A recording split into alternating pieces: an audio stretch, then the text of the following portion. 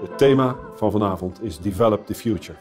En vanavond hopen wij antwoord te krijgen op wat betekent Smart Industry nou voor mij als persoon, voor mij als bedrijf, voor mij als professional en voor mij als leidinggevende. In het algemeen zal de smart industrie en industrie 4.0 ons echt helpen met het verbinden van allerlei informatie. Of dat nou een telefoon is of een drugsensor aan boord van een schip. En dat we daar hele slimme dingen mee kunnen gaan doen. Die ons gewoon helpen in ons dagelijks leven in de toekomst.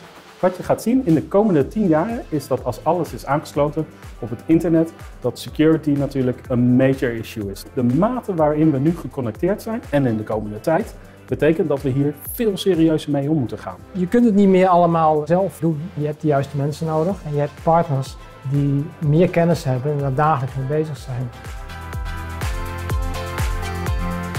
Potentie voor uh, digitale transformatie en industriële automatisering is uh, in mijn optiek giga groot.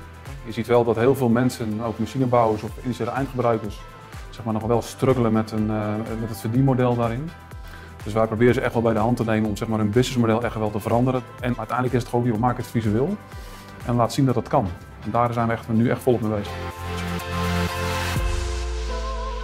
Voor mij is het een moment waarop we in de convergentie van IT en OT en in de wereld van steeds meer devices, steeds meer sensors en al dat volume aan data dat op ons afkomt, dat we toch verbeelding als startpunt blijven nemen voor wat we gaan oplossen. En ik zou iedereen willen aanmoedigen om die mindset te hebben, de learn it all mindset, omdat je op die manier meters kunt maken. Inherent aan het DNA van ICT is dat wij de ontwikkelingen op Smart Industry bijhouden. Volgend jaar presenteren wij die actuele onderwerpen samen met onze partners. Wederom aan u. Ik hoop u graag te zien.